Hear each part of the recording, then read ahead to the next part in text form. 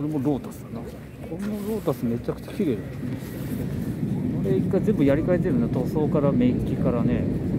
全部フルレストア済みみたいな感じ。でこれはロータスの何だったっけな。選んではないよな。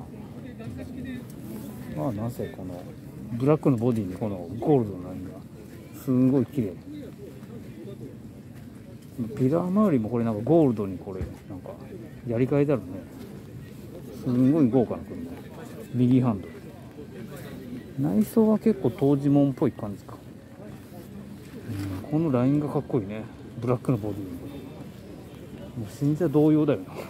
新車じゃめちゃくちゃ綺麗。これは、まあ、塗装だけで50万ぐらいかかってそうだな。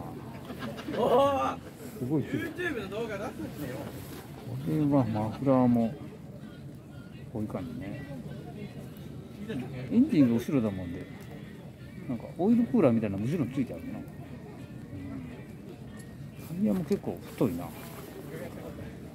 イヤもあ結構これノーマルじゃないね。車高も結構下げてあるな。ベタベタに。低い後ろこれフェンダー当たってないから。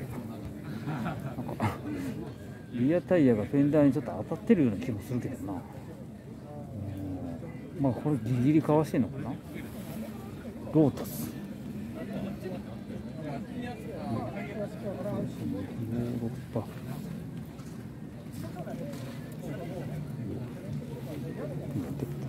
ヨーロッパヨーロッパスペシャル。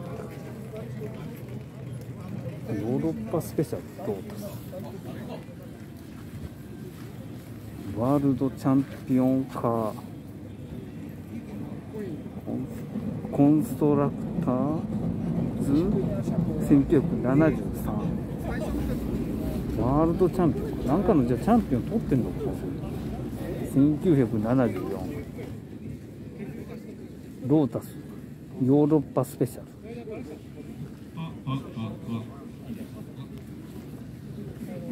ロータスのヨーロッパのスペシャル。スペシャル。